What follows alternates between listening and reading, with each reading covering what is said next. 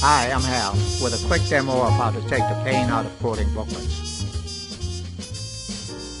There are three things we need to deal with when pricing a booklet.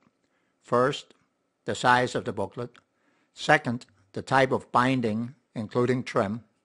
And third, the cover and contents. Pricing the cover and contents is essentially the same as pricing letterheads and newsletters, except here the input has to be compatible with the size and binding of the booklet.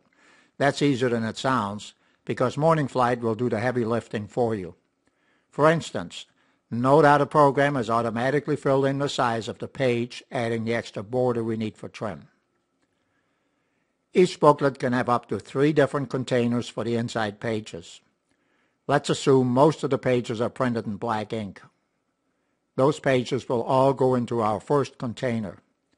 Any color pages will go into our second.